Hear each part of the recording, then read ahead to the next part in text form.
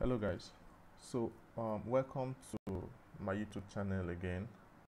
I promised i was going to do this video to show you guys how you can skate through the ordeal of blank sandbox.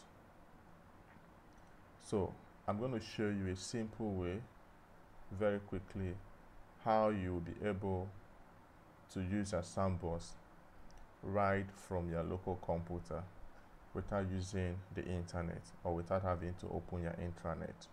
All right. Um, kindly know that this is just a support video to help you skate through ALX and if you've not subscribed to this channel that's the least you can do for all we are doing for you. All right that's the least you can do. Kindly subscribe.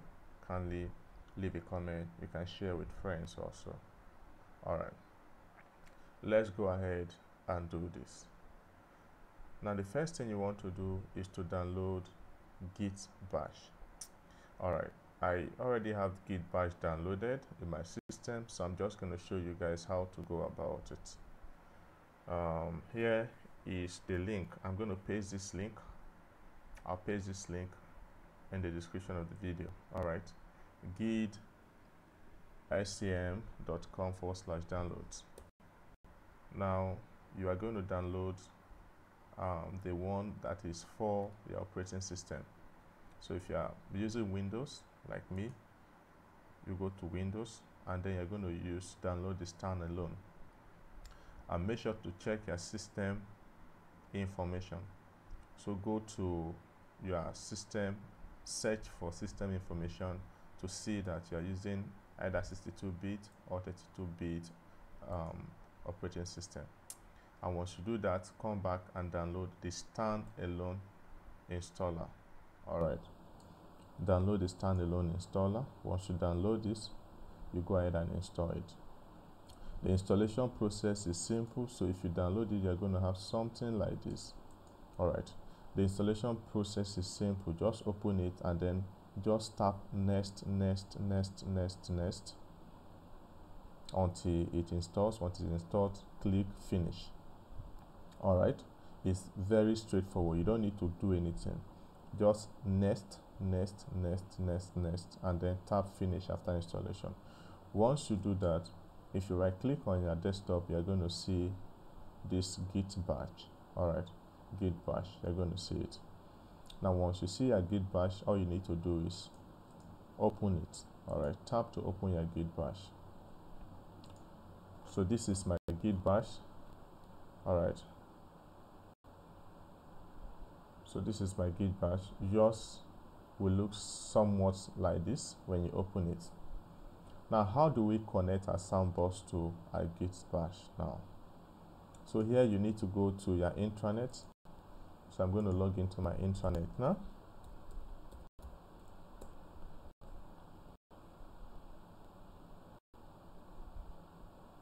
All right so from my intranet, i'll go to I'll go to my sandbox so this is my sandbox and from here I will use SSH all right I'm going to use SSH so rather than using the web term I will use SSH so we have SSH SFTP and web term. So tap on SSH once you tap it's going to say copied. So you've copied your SSH what you now do is that you go to your git bash and paste what you've copied. So right click and paste. All right so make sure it's not highlighted then tap enter. Make sure it's not highlighted then tap enter. So i'll tap enter and i'll wait for it. So now it's asking for password. So you might paste it and it will ask you to type yes first. So type yes and then once you type yes it will ask you for password. For some it's just going to ask you for password direct. Uh, for some it will ask you if you trust the software you are trying to paste to your git bash. Just type yes lower cases yes. And then once you type yes it's going to ask you for password. So here we will go ahead and copy our password. So i'm going to go back to sandboxes and then I'll copy my password here. All right where it says password. Copy your password get back to your git bash right click and paste. You will not see the password. So once you paste once tap on enter. If you paste more than once um, it's going to give you error.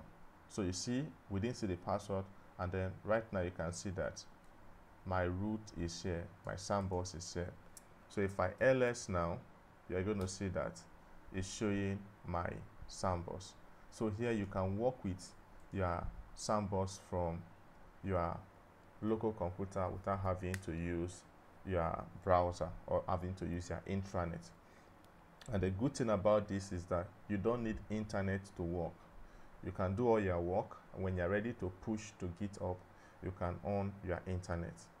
All right, and begin to push to GitHub. So this is a simple way to go about this.